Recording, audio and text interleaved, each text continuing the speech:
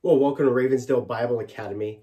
Today's course overview is our TV, movie, and uh, music reviews course. It's a course that we, we break it down into three sections, uh, 10 lessons each from TVs, movies, and music.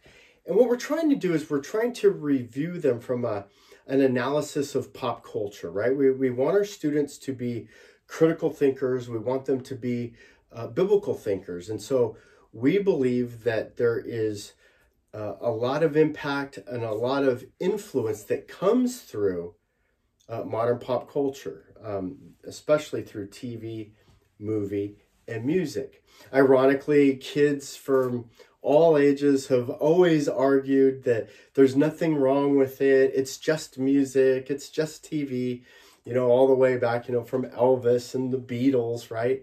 Um, but we know better uh, we know better. One of the reasons why we know better is just go and watch a, a documentary of, you know, like the 50s and the 60s and, and watch how they interview uh, the the actors and watch how they interview the the musicians of the time, right? And they'll all say the same thing. Well, when I wrote this, what I was trying to communicate, right? And there's there's a there's a revolt against the government. There's a revolt against religion. There's a revolt against you know uh, atrocities or things that that they don't agree with. There's there's a an appeal to to paint a picture of what a family should look like to paint a picture of what a community can be. And they do that through tv movies and music.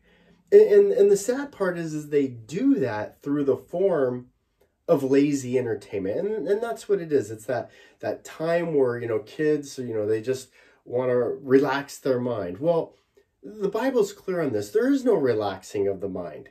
So a man thinketh whatever goes into your mind he liveth comes out. What you take in will come out. Uh, you know psalms 1 says you know, do not walk in the path of the wicked or stand in the way of sinners or sit in the seat of mockers. Why? Because their influence will have a way with you. And so when we sit down, when we walk, when we listen to the the conversations that are taking place through TV, music, and movies, well, th- those are seeping into our in, into our minds. They're seeping into our our hearts. And it's amazing when you're raising kids to see, you know, kids like parrot back and repeat the things that that you would see on TV, on a TV show. And so we want to train our students to uh, to to be spiritually minded, to to guard their hearts, to actually know and understand what it is that they're that they're viewing and, and then to to be able to analyze it. And so what we do in our courses, we take songs, we take TV shows, um, we, we take movies, and, and we just ask some simple questions, right? Um, you know, just what's the synopsis? What that does is it makes the student actually sit down and think, yeah, what was this show about? Because because there is a purpose, there is a theme to every show, to every song. Well, what was it? Okay, so it so it makes the student actually think about that. What are the positive elements? What are the elements of this that are that are positive? Okay, fair enough. What about negative ones? Was there anything in this this TV show, in this movie, in this song that was actually negative? Oh, dad, they just sing about drugs, but they don't really believe in it or doing them. Oh, dad, you know, yeah, I know the the family is all broken and separated, but you know that doesn't really you know matter. It, it does matter, and there's a message that's being taught? What about spiritual elements? Are there any spiritual elements to what's being uh, taught or or projected? Remember that the evil one is deceptive. The evil one likes to deceive hearts and minds.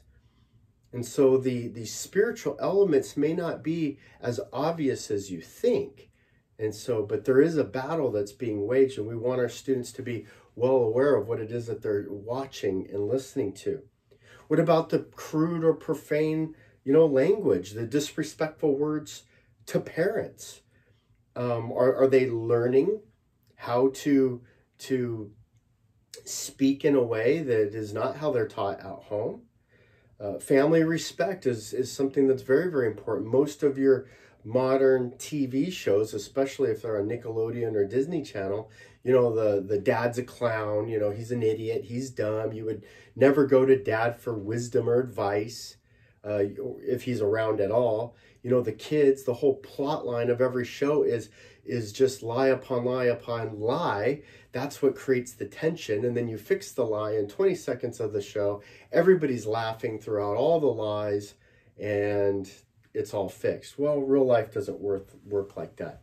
We want to see the conflict and then the conflict resolution. How do the writers of these songs, of TV, of the movies, how do they resolve conflict? Are they biblical at all? Do they go to the Bible for any reference? Are they going to just, you know, anger and emotions and, um, you know, the, the negative things uh, that the world would pursue?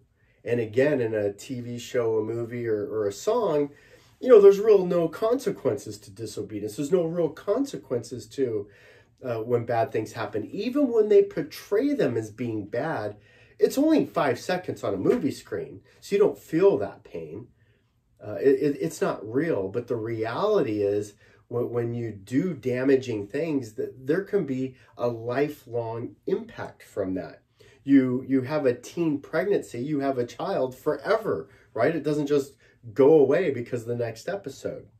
And then finally, you know, we want our students to understand was this appropriate? What was this an inappropriate show to watch, movie, song to listen to? How many songs are you listening to and repeating over and over and over again to have a horrible, disgusting message?